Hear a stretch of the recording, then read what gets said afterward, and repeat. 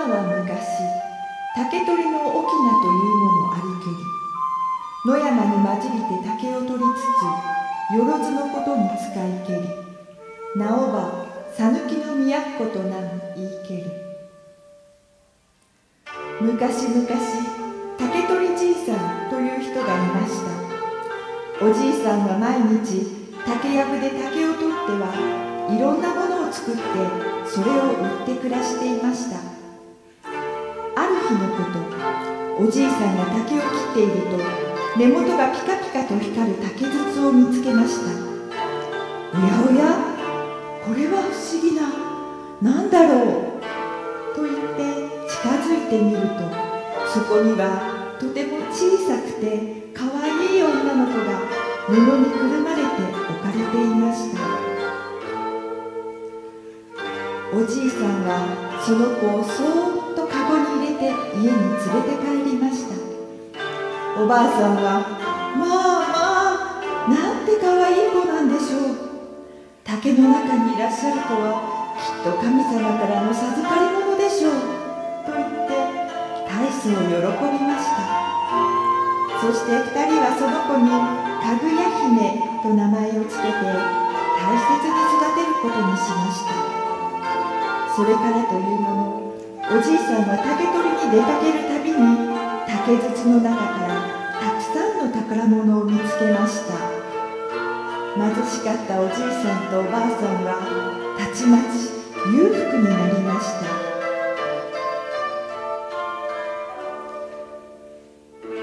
3ヶ月経ちました。かぐや姫はすくすく成長し一人前のそれはそれは美しい娘になりました。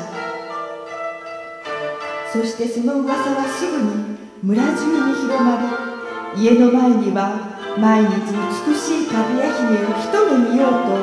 たくさんの男たちが集まりました。都からは身分の高い人たちがかぐや姫をぜひ私のお嫁さんにくださいとおじいさんに頼みましたがかぐや姫は会うことさえ承知しませんでした。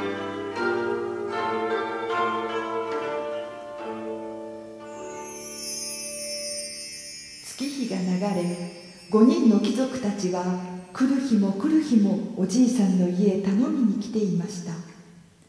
困っているおじいさんを見てかぐや姫はとうとう貴族たちの前に姿を見せこう言いました。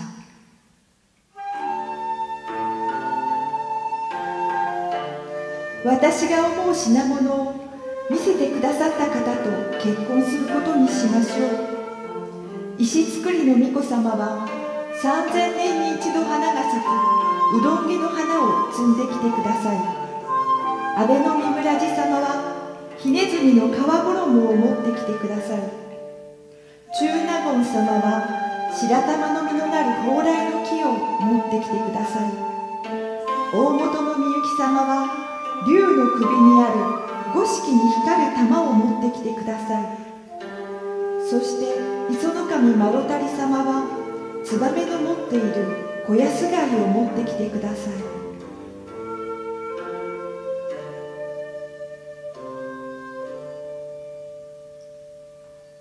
5人の貴族たちは喜んで承諾しかぐや姫と結婚するためにこれらのものを競争で探しました。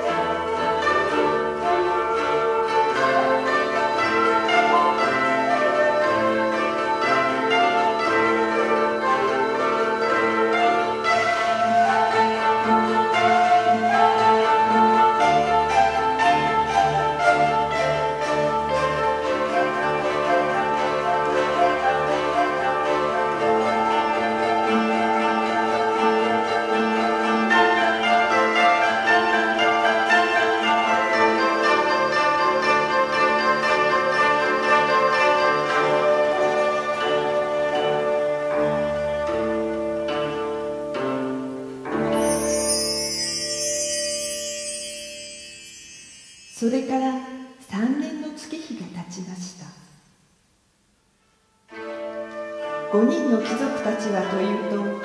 いとめなく大金を使って失敗した者権力を使って偽物を手にした者中には命さえ落とした者もおりました。そして誰一人本物を持ち帰ることができずかぐや姫をお嫁さんにすることはできませんでした。それからまた3年経ち春になりました。かぐや姫はこの頃から月を見ては涙を流すようになりました。一体何があったんだい？体の具合が悪いのかい？おじいさんは心配してこう言いましたかぐや姫は何も言いませんでしたそして十五夜の晩になりましたかぐや姫は言いましたおじいさんおばあさん長い間育ててくださってがとうございました。実は私は月の都のものです。もうすぐ天人が迎えに来て私を月の都へ連れて行きます。そして夜中の12時突然辺りがピカッと光り風が吹き始め目を開けると月から神々しい天人たちが降りてきました。おじいさんもおばあさんも全身から力が抜け言葉も出ませんでした。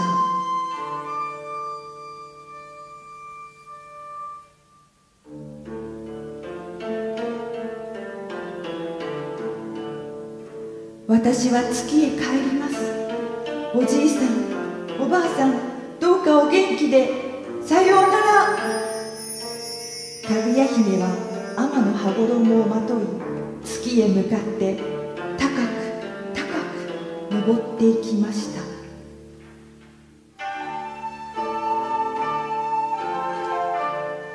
おじいさんとおばあさんにかぐや姫が残していったものは一つの箱に入った不死の薬でした。おじいさんはこの不死の薬を